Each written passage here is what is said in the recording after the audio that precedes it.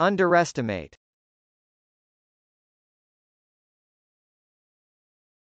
Underestimate.